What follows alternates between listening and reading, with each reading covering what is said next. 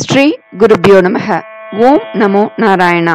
அனைவருக்கும் நமஸ்காரம். இன்று தீமைகளை அழித்து நன்மைகளை காக்க திருமால் வராகராக அவதரித்த திருநாள் வராக ஜெயந்தி. வராக பெருமாள் அவதரித்து பூமியை மீட்ட தினம் சைத்திர மாத சாந்திரமான தேய்பிரை பஞ்சமி இன்றைய தினம். அதனால இந்த நன்னாள்ல வராக அவதாரம் பற்றி கேட்க நமது பாபங்கள் தொலையும் சுபிக்ஷம் உண்டாகும். வராகரை வணங்க பூமி யோகம் உண்டாகும். நிலம் சொத்து சம்பந்தமான பிரச்சனைகளுக்கு தீர்வு கிடைக்கும். நீண்ட புகழ் நிலைத்த செல்வம் நோயற்ற வாழ்வு கிடைக்கும். தீமைகள் அனைத்தும் விலகும். அதனால நான் நாம இந்த பதிவுல பூவராக பெருமாளின் சக்தி வாய்ந்த நான்கு வரி ஸ்லோகமும் நாராயணியத்திலிருந்து தசகம் பன்னெண்டு வராக அவதாரமும் பார்க்கலாம். எப்பொழுதெல்லாம் பூமியில் தர்மம் அழிந்து அதர்மம் தலையெடுக்கிறதோ அப்பொழுதெல்லாம் அதர்மத்தை அழித்து தர்மத்தை நிலைநாட்ட யுகங்கள் தோறும் நான் அவதரிப்பேன் என்று பகவான் கிருஷ்ணர் கீதையில் கூறியிருப்பது போல் தர்மத்தை நிலைநிறுத்த எடுத்த அவதாரங்கள் இருபத்தி ரெண்டு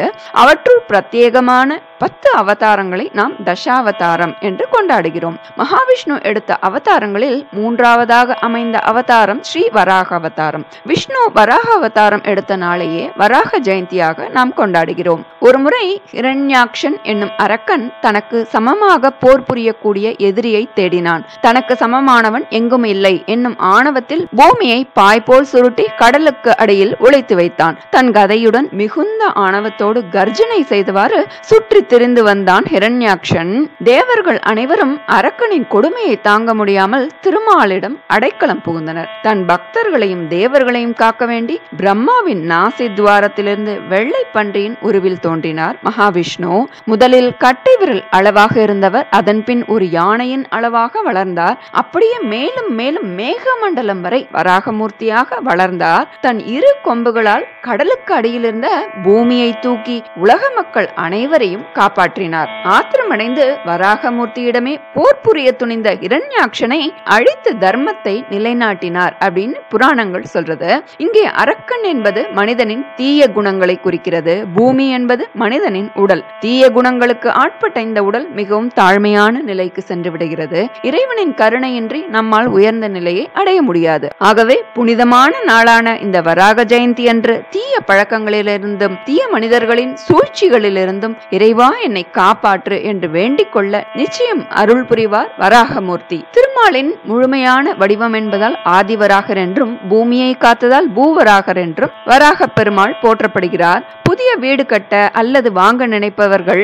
வீடு மனை வேண்டி வராகமூர்த்தியை வழிபட புதிய மனை வாங்கி வீடு கட்டும் யோகம் கிடைக்கும் என்பது உறுதி. மேலும் திருப்பதி தல புராணத்தில் திருமலை வராகஸ்தலம் அப்படின்னு சொல்லப்படுறது. இதனால்தான் திருப்பதியில் ஏழுமலையானுக்கு முன் வராகருக்கு முதல் மரியாதை மரியாதை செலுத்தப்படுகிறது. பூஜைகள் முதற்கொண்டு நைவேத்தியங்கள் வரை இன்றளவும் வராகருக்குத்தான் முதலில் வழங்கப்படுகிறது திருப்பதி கஷேத்திரத்தில். அதனால் திருமலையில் வராக ஜெயந்தி சிறப்பாக கொண்டாடப்படுகிறது. கும்பகோணத்தில் வராக பெருமாள் ஆதி வராக பெருமாளாக பக்தர்களுக்கு அருள் புரிகிறார். ஸ்ரீமுஷ்ணத்தில் பூவராக பெருமாளாக காட்சி தருகிறார். இந்த பூவராக பெருமாளை பிரார்த்தித்தால் பூமியோகம் கிட்டும். அப்படி பலன் பெற்றவர்கள் இந்த தளத்தில் வந்து பூவராக பெருமாளை மகிழ்ச்சியுடன் வழிபட்டு தங்களது நன்றியை தெரிவிப்பதையும் இங்கு நாம் பார்க்க முடிகிறது. வராக அவதாரத்தில் வராக பெருமாளின் உணவு என்ன என்று சொன்னால் நிலத்தின் அடியில் முளைக்கக்கூடிய கோரைக்கிழங்கு. தண்ணீர் நிறைந்து உள்ள சதுப்பு நிலங்களில் உண்டாகும் இந்த கோரைக்கிழங்கு சரீர வியாதிகளை போக்க வல்லது வராக கஷேத்திரமான ஸ்ரீமுஷ்ணத்தில் கோரைக்கிழங்கு முஸ்தாக்கிழங்கு சூர்ணத்தையே பிரசாதமாக தருவது வழக்கம். அதனால் இந்த வராக ஜெயந்தி நாளில் கோரைக்கிழங்கு மாவுருண்டை செய்து செவ்வரளி துளசி மாலைகள் சாத்தி வராக மந்திரம் சொல்லி வழிபட அனைத்து தீமைகளும் விலகி சுபிக்ஷம் பெறுவார்கள் என்பது நிச்சயம். இந்த பூவராக பெருமாளோட சக்தி வாய்ந்த நான்கு வரி ஸ்லோகம் பார்க்கலாம். शुद्ध स्फटिक शङ्काशं पूर्णचन्द्र निबाणनं कटिन्यस्त करद्वन्द्वं श्रीमुष्णेशं नमाम्यहं दयानितिं दयाहीनं जीवानामार्तिहं विभुं दैत्यान्तकं गतापाणिं श्रीमुष्णेशं नमाम्यहम् शुद्धस्फटिकशङ्काशं पूर्णचन्द्रनिबाणनं कटिन्यस्तकरद्वन्द्वं श्रीमुष्णेशं नमाम्यहं दयानिधिं दयाहीनं जीवानामातिकं विभुं दैत्यान्तकं गतापाणिं श्रीमुष्णेशं नमाम्यहम् இதோட பொருள் சுத்த ஸ்பட்டிகம் போல் நிர்மலமானவர் பூர்ண சந்திரனை போல ஒளி படைத்தவர் ஸ்ரீ வராகமூர்த்தியே உனக்கு நமஸ்காரம். திருக்கரங்களில் சக்கரம் கதையேந்தி அருள்பவர். கருணையே வடிவானவர் ஜீவன்களை காப்பவர். ஸ்ரீமுஷ்ணத்தில் அருள் பாலிப்பவரே ஸ்ரீ வராகமூர்த்தியே உனக்கு நமஸ்காரம். அப்படின்றது தான் இந்த ஸ்லோகத்தோட பொருள். வராக ஜெயந்தி என்று இந்த ஸ்லோகத்தை சொல்லி வழிபட தீமைகளெல்லாம் விலகி சுபிக்ஷம் பெறுவார்கள் என்பது நிச்சயம். நாம் தினமுமே சங்கல்ப மந்திரம் சொல்றோம். அதில் வராக பெருமான் பற்றிய குறிப்பும் வருது. அது நம்ம கவனிச்சிருப்போமா என்னன்றது தெரியல. த்விதீய பரார்த்தே ஸ்ரீ ஸ்வேத வராக கல்பே வைவஸ்வத மன்வந்தரே கலியுகே பிரதமே பாதே அப்படின்றது சங்கல்ப மந்திரம். இது கலியுகத்தோட முதல் பாதம். மனிதர்களுக்கு ஒரு ஆண்டு தேவர்களுக்கு ஒரு நாள். தேவர்களுக்கு முன்னூத்தி அறுபத்தைந்து நாள் ஒரு தேவ ஆண்டு ஆயிரத்தி இருநூறு தேவ ஆண்டு கலியுகம். நீங்க ஸ்கிரீன்ல இதோட முழுமையான விவரங்களை பார்க்கலாம். நாம் ஏழாவது மனுவில் கிருத்தயுகம் திரேதாயுகம் துவாபர யுகம் முடிந்து கலியுகத்தின் முற்பகுதியில் நாம் வாழ்ந்து வருகிறோம். இந்த கல்பம் உண்டாகும் பொழுதுதான் பகவான் வராக ரூபம் எடுத்து தண்ணீரிலிருந்து பூமி பிராட்டியை மேலே கொண்டு வந்து நிலைநிறுத்தினார். அதனால் நாம் வாழும் கல்பம் ஸ்ரீ ஸ்வேத வராக கல்பம் அப்படின்னு சொல்லப்படுறது. இதை தினசரி சொல்லியே நம்மை அறியாமலே நாம் வராக பெருமானை வணங்கும் பேரு நமக்கு கிடைச்சிருக்கு. இந்த கலியுகத்துல நமக்கு கஷ்டம் ஏற்படும் போதெல்லாம் நம் அந்த வராக மூர்த்தியின் ஸ்தோ ஸ்தோத்திரத்தை உச்சரித்தாலே சொன்னாலே போதும். நமக்கு ஏற்படும் கஷ்டங்கள் எல்லாம் பனி போல் விலகிவிடும் தீர்ந்துவிடும் என்பது நிச்சயம். நாம் இப்போ இந்த வராக ஜெயந்தி தினத்துல நாராயணியத்திலிருந்து பன்னெண்டாவது தசகம் வராக அவதாரத்தை பார்க்கலாம். தசகம் பன்னெண்டு வராக அவதாரக வராக அவதாரம். ஸ்ரீஹரையே நமக. स्वायम्भुवो मनुरतो जनसर्गशीलो दृष्ट्वा महीमसमये सलिले निमग्नां स्रष्टारमापशरणं भवदङ्घ्रिसेवा तुष्टाशयं मुनिजनैः सह सत्यलोके कष्टं प्रजा सृजति मय्यवनिर्निमग्ना स्थानं सरोजभव कल्पय तत्प्रजानाम् इत्येवमेव कथितो मनुना स्वयम्भूः। अम्बोरुहाक्ष तव पादयुगं व्यचिन्तीत् हा हा विभो जलमहं न्यपिबं पुरस्तात् अद्यापि मज्जति मही किमहं करोमि।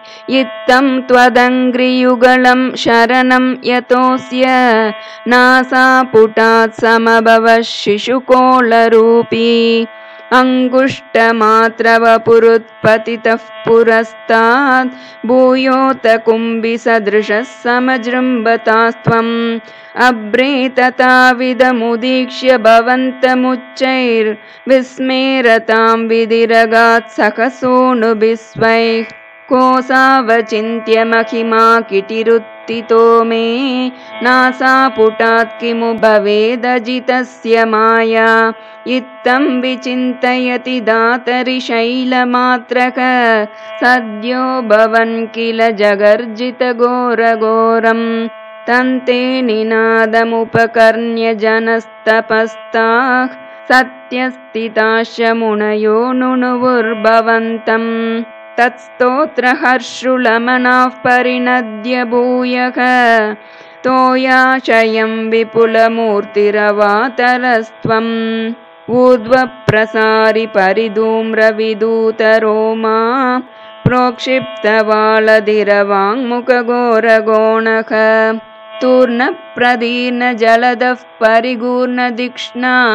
स्तोतॄन्मुनीन् शिशिरयन्नवतीरितत्वम् अन्तर्जलं तदनुसङ्कुलनक्रचक्रम् भ्राम्यत्तिमिङ्गिलकुलं कलुषोर्मिमालम् आविश्य भीषणरवेन रसातलस्तान् आकम्पयन् वसुमतीम् अगवेशयस्त्वम् दृष्ट्वा तदैत्यहतकेन रसातलान्ते संवेशितां झटिति कूटकिटिर्विभो त्वम् आपातुकाणविगणय्य सुरारिकेटान् दंष्ट्राङ्कुरेण वसुधामददा सलीलम् अभ्युद्धरन्नतधरां दशनाग्रलग्न मुस्ताङ्कुराङ्कित इवादिकपीवरात्मा। उद्धूतघोरसलिला जलदेरुदञ्चन् क्रीडावराह्वपुरीश्वर पाहि रोगात् श्रीहरये नमः கோபிகா ஜீவனஸ்மரணம் கோவிந்த கோவிந்தா நாம இந்த அற்புதமான வராக ஜெயந்தி தினத்துல வராக அவதாரம் கேட்டாலும் சொன்னாலும் பாராயணம் செய்தாலும் அனைத்து பாபங்களும் விலகும் சுபிக்ஷம் உண்டாகும் நிலம் வீடு பூமி வாங்கும் யோகம் உண்டாகும் நிலம் சொத்து சம்பந்தமான பிரச்சனைகளும் தீர்ந்து நல்ல வழி பிறக்கும் என்பது உறுதி இதனால் பயனடைந்தவர்கள் இந்த பதிவை பகிரவும். ஓம் நமோ நாராயணா. நமஸ்காரம்.